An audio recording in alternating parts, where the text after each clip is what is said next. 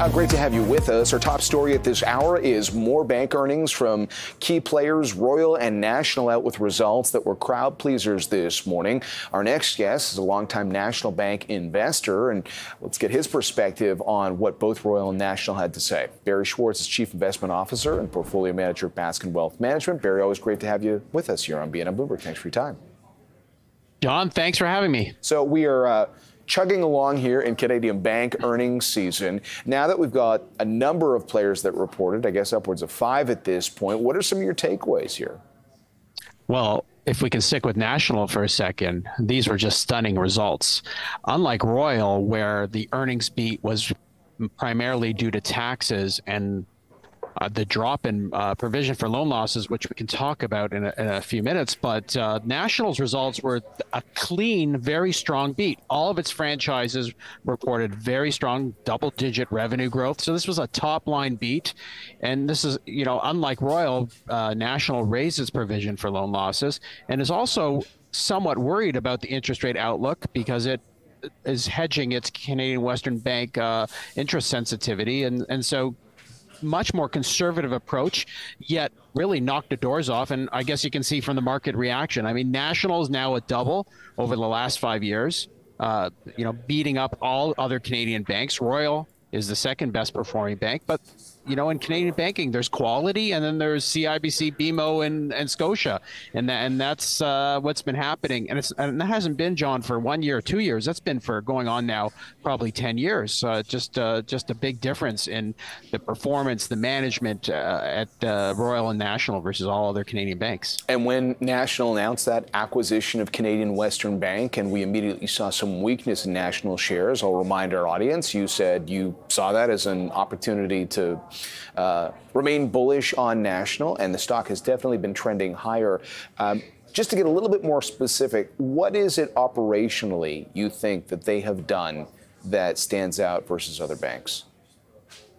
Well, you know, all banks have missteps, and we can remember at one point, National Bank during the financial crisis, it got locked in, into problems. So, uh, some of it is some of it is just luck and being in the right places and avoiding mistakes. Or I mean, is, is TD, of course, some of the with such a big bank, the anti-money laundering issues that happen, you can't always follow every single issue when you're running a bank with many thousands of employees. But it's clear to us that from National Royal, first of all, they have tremendous capital markets and wealth management franchises just way better than all the other Canadian banks. The second thing they both have is great efficiencies uh, in terms of their non-interest expenses. They run a lean and mean shop, both banks. Uh, smart acquisition. Look at the uh, Royal Bank's acquisition of HSBC. Showed in the results tremendous already, and its capital is already ready to go in terms of it, it, it has too much again, so it can start buying back shares. National has leading capital, excess capital, but that's going to change, of course, when it closes the Canadian Western Bank acquisition. Uh, you know, I just think just very strong leadership at the top. They've made very few mistakes recently, sticking to their knitting. National's kind of a weird bank because they've got investments in this Credigy, which is commercial loans in the U.S. They've got uh, a Cambodian investment, but that's worked out tremendous. And we really think, uh, thank you for that about the Canadian Western Bank. We really think that uh, National is going to, uh, this is the best time that National could have picked to acquire Canadian Western Bank. Interest rates are falling. Uh, we think Alberta is going to be booming going forward because it's just so much more affordable to live there.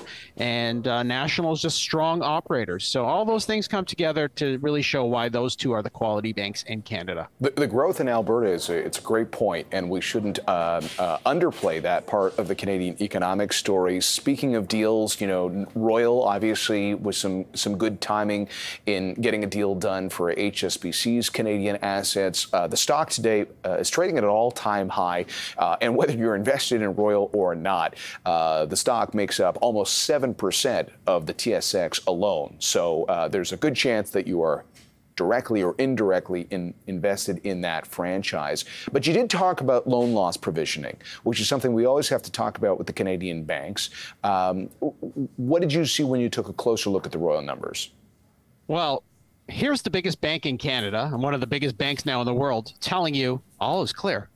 Uh, essentially what I think they're telling us by lowering loan loss provisions, whereas BMO increased them, TD's got its own problems, uh, uh, Nationals and uh, Scotia's ticked up a little bit. I think what Royal's telling you is we see lots of rates cut, rate cuts coming.